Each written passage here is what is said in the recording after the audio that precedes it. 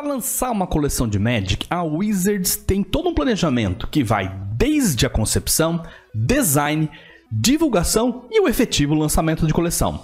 Mas e se eu te contar que teve uma coleção específica que passou por todos esses passos, mas ela nunca foi lançada?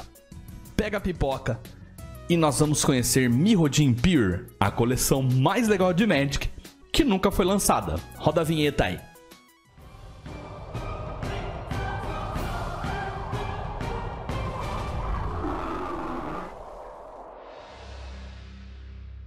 De maneira muito, mas muito resumida, Mirrodin começa quando Karn resolve deixar o poderoso artefato Mirari, que havia causado inúmeros problemas em Dominária, em um plano artificial chamado Argentum, criado pelo próprio Karn. Esse artefato seria eventualmente fundido a um golem que se chamaria Menarca. O Karn, então, incumbe o Menarca a cuidar do plano na sua ausência, já que ele saiu com a Jéssica para explorar o multiverso, e obedientemente o Golem assim o fez. O tempo em Argento se passava de uma maneira diferente do resto do multiverso, e por séculos o Menarca obedeceu seu mestre, cuidando do plano na sua ausência. Entretanto, um dia, no palácio de Galdrum, o Menarca encontrou uma poça uma mancha negra. E ele foi lá e prontamente a limpou. O que ele não sabia é que essa mancha negra era ícor ou óleo firexiano. De onde isso tinha vindo? Tinha vindo do próprio carne que tinha o coração infectado pela substância viral engenhada pela raça firexiana. Sem saber, Carne estava criando uma trilha de corrupção por todos os planos em que ele passava, inclusive no seu plano natal dominária e também em Argento. O que aconteceu daí para frente foi a decadência de Mirrodin. O óleo ferexiano entremeou-se na matriz energética de Menarca, fazendo ele ter pensamentos que beiravam a loucura fazendo-o questionar as decisões do seu mestre Karn. Como, por exemplo, por que, que esse plano tem que se chamar Argento? Por que, que esse plano tem que continuar estéril? E por que eu tenho que ficar aqui? Menarca renomearia o plano, batizando-o de Mirrodin. E ele tinha uma ideia muito fixa na mente, que era encontrar o seu criador, o Carne. Dessa forma, ele tentava achar maneiras de pensar mais inteligentemente. Observando uma colônia de moscolumes, que era uma das poucas formas de vida que existiam no planeta, ele percebeu que se ele destilasse essa a substância proveniente desses seres, ele conseguiria criar uma substância chamada soro. E isso elevaria e ampliaria sua consciência a níveis impensáveis, fazendo dele mais inteligente, cada vez mais inteligente, com capacidade de criar maneiras de chegar ao seu propósito. Menarca então arquitetou um plano deveras complexo. Ele criou portais chamados Armadilha das Almas, os quais conseguiriam trazer seres de outros planos para povoar Mirrodin. Com dois propósitos. Primeiro, ele tinha ciência dos planos artificiais de Serra e Firexa e como eles acabaram por colapsar. E o seu segundo plano era tentar achar uma centelha que ele pudesse absorver para daí ascender e finalmente chegar até carne. Esse processo durou secretamente durante séculos. A população morava em Mirrodin sem saber dos planos de Menarca. Eventualmente ele encontraria uma elfa chamada Glissa, que possuía a centelha que ele queria. Aqui eu vou dar um grande salto nos acontecimentos, porque senão o vídeo vai ficar muito extenso e para abordar Lord Mirrodin a gente precisaria de um vídeo só para isso, um ou mais vídeos. É, é a minha lore favorita, né? O, o, Menarca é o meu personagem favorito, mas a gente vai dar um grande salto aí não estender o vídeo. Eventualmente, a Gliss encontra o seu amigo Slobar. Slobar era um goblin artífice extremamente inteligente que estava sendo escravizado pelo Menarca para construir um artefato chamado Espelho Panóptico. Artefato este que tinha a seguinte função: ele transferiria a centelha da Glissa para o Menarca. Só que para isso ele usaria a vida de todos os Mirranianos, ou seja, ele acabaria com a vida de todo o planeta.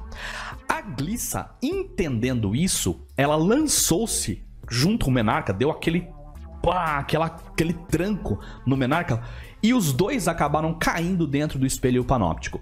O espelho entendeu como se os dois corpos fossem uma coisa só e transferiu a centelha da Glissa, ao invés do Menarca, para o Slobá. Dessa forma, todo mundo do plano morreu, exceto o Slobá. Quando o Menarca morreu, o Carne conseguiu entrar no plano o Carne, por sua vez, bem poderoso, pegou a centelha da Glissa e conseguiu recuperar toda a vida de Mirrodin e além disso ele transferiu todas as almas, todos os seres que não eram originários daquele plano para os seus planos natais. Então quem ficou em Mirrodin era originária do plano, nasceu no plano. Com a morte do Menarca, ele retornou à sua forma original, do Mirari. O Carne, prudentemente, deixou o artefato aos cuidados de Glissa, Slobá e mais um aliado deles, o Get, e partiu do plano. Essa foi a história de Mirrodin, muito resumida, tá galera? Datada de 2003. Interessante a gente contar isso para a gente conseguir entender a segunda parte de Mirrodin, que é o bloco da qual a gente vai falar aqui. Esse datado, por sua vez, de 2010. Inicialmente, a segunda coleção de Mirrodin era para ser chamada Nova Firexia, já mostrando os Mirranianos corrompidos pelos Firexianos. De forma muito sucinta, após a morte do Menarca, o óleo que estava nele corromperia o restante do plano ao se proliferar aí, permitindo a volta dos Ferexianos provenientes lá do seu plano artificial, né? Eles estavam tidos como mortos do plano artificial e um novo plano artificial seria tudo o que eles precisavam para voltar.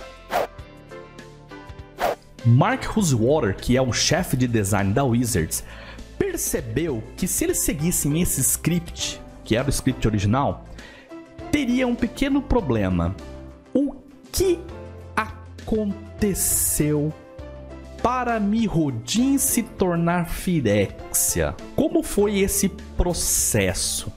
Se pulássemos direto para a nova Firexia, a gente teria uma lacuna.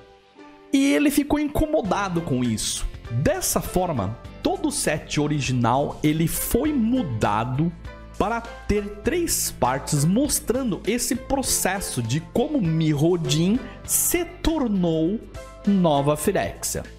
E é aí que a gente vai para a primeira parte do set, que é as cicatrizes de Mirrodin. Cicatrizes mostra os anos seguintes da consequente dominação de Menarca e como os Firexianos começavam a sentir a infestação firexiana e todas as suas consequências. A gente pôde perceber o processo de degradação de Mirrodin conforme as coleções iam passando.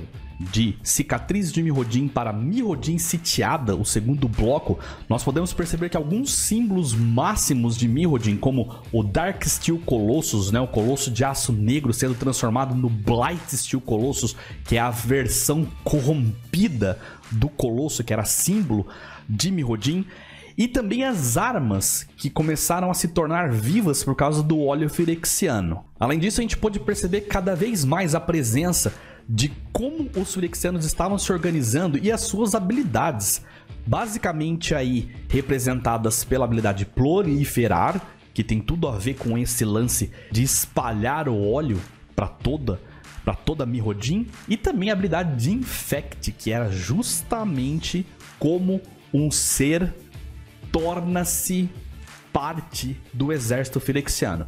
E é aí que a gente conhece Melira, uma das personagens principais, que era imune ao óleo firexiano. Então aí nós tínhamos o arco da guerra civil entre os Mihanianos e os Firexianos, os Mihanianos se organizando, conseguindo equipamentos e tudo mais, juntando todos os seus povos, elfos, humanos, Vulchoks e tudo mais, contra os Mihanianos que estavam se organizando em facções lideradas aí pelos pretores, né? Cada pretor de uma cor aí, Gengitaxias, Elesh Norn, Sheoldred, Vorinclex e Urabrask. Aí, paralelo a isso, nós tínhamos um arco formado pela Elspeth, pelo Vencer e pelo Koth na busca por encontrar o Carne, que estava no núcleo de Mirrodin, corrompido pelo óleo firexiano, aclamado como o novo pai das máquinas, cargo esse deixado pelo Ialgmoth. Eles precisavam da ajuda do Carne para conseguir se livrar do mal firexiano, entretanto, o Carne precisava de ajuda primeiro. E é nesse ponto que a gente chega ao tema do vídeo. A Wizards of the Coast, pela primeira vez na história, em uma jogada de marketing sensacional, deixou em nossas mãos o destino de uma coleção. Basicamente, a gente podia votar em site ou ainda mostrando em redes sociais o que é que a gente queria que acontecesse com o plano de Mirrodin. Se os Firexianos vencessem a batalha, nós teríamos uma coleção chamada Nova Firexia. Caso contrário, se os Mihanianos sobrepujassem a força firexiana, nós teríamos uma coleção chamada Mirrodin Pure, ou traduzindo, Mirrodin Pura. Né? Não, ela, esse set não chegou a sair, portanto não tem uma tradução oficial. Foi uma enorme comoção. As redes sociais viraram um campo de batalha entre Mihanianos e Ferexianos através da sua opinião de voto popular. A compra dos dual decks poderia influenciar finalmente no lançamento de uma coleção. Produtos saíam, shields, deck box e tudo mais para decidir quem seria o vencedor dessa batalha. Só que não. Na verdade, estava tudo certo para ser o New Firexa desde lá de 2003, infelizmente. É sabido que toda coleção de Magic é planejada com muitos anos antes. E Nova Firexa não foi diferente. Tava lá em 2003, já era sabido, né? Ia ser New Firexa e ponto final. Apesar de toda essa votação ter sido meio forjada, né? A gente já sabia que ia sair Nova Firexa no fundo dos corações. Nada tira o mérito da Wizards de como ela conduziu todo esse marketing, né? Ela trouxe aquela, aquela paixão de torcedor pra gente, de, de batalhar pelo lado que a gente queria, de fazer campanha, né? Pela vitória de um dos dois lados. E isso foi tão bem feito que teve trailer, inclusive, né? Teve dos trailers para os dois lados. Vamos conferir aí.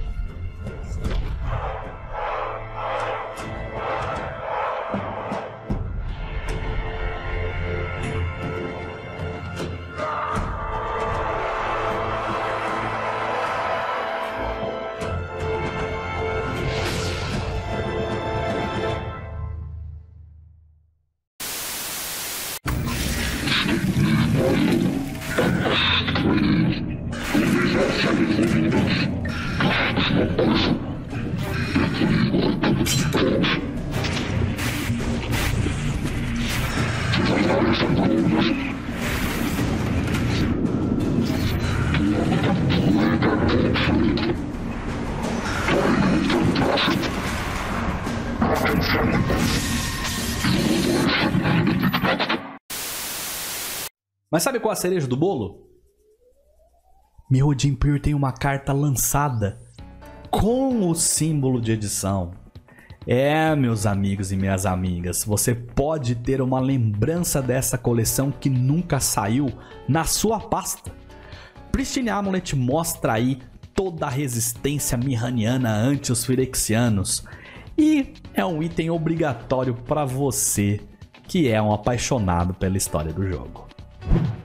E é assim, pessoal, que a gente se despede de vocês, se despede desse vídeo aí, mostrando de maneira muito sucinta como foi a história de Mirrodin, dos dois blocos. Aí, inclusive está aberto, quero muito que tenha uma terceira Mirrodin. E essa curiosidade dessa ação de marketing tão genial que a Wizards fez de um set que nem foi lançado.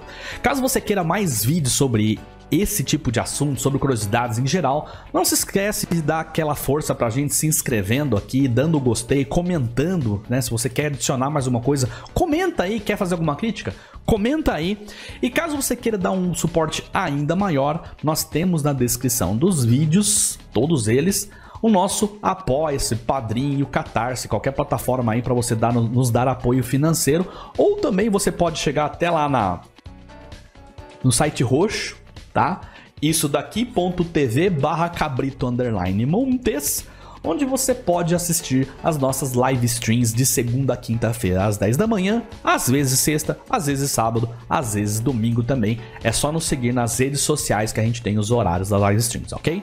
Muito obrigado para você que chegou até aqui, um grande abraço e até logo.